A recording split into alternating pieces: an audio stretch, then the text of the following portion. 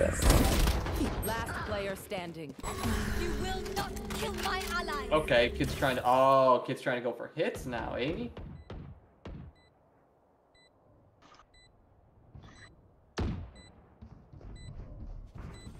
While their defensive end was playing the body, Cam just takes it up with no fucking opposition. Cutting their vision. Enemy Yeah.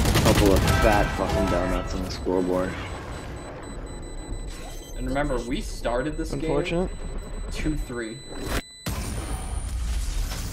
Wait, what? Remember we started this game, it was uh 2v3.